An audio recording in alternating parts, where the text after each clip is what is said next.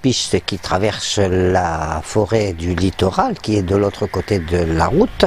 hein, permettent de se promener très agréablement. D'abord, la forêt du littoral est superbe, hein, un ensemble d'acacias, de, pins, euh, des sous-bois extrêmement touffus, etc.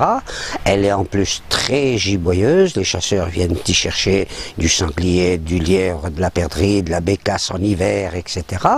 Et on peut s'y promener très facilement sans aucune crainte de se perdre parce que la forêt, c'est une forêt artificielle, elle est littéralement quadrillée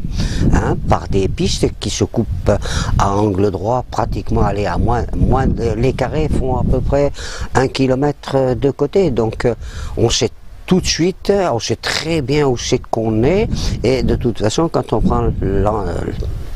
quand on ne sait plus où on est, il suffit de prendre une piste et de la suivre le plus longtemps possible, et à un moment,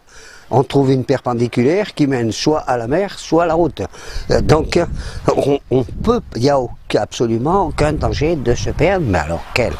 quel agrément Hein. Que ce soit en été, regardez, il y, a des, il, y a, de l'ombre, il y a des grands arbres, la fraîcheur, on peut, on peut, on pourrait y faire des excursions équestres, on peut s'y promener par exemple en calèche, on peut emmener les enfants en, en, emmenant avec soi un âne qui porterait les, le pique-nique ou les bagages,